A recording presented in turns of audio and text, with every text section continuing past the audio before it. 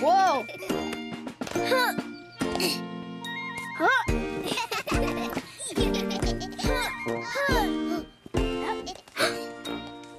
Uh-oh. I think we ran out of places to step on. Ready? One, two, three! that was fun!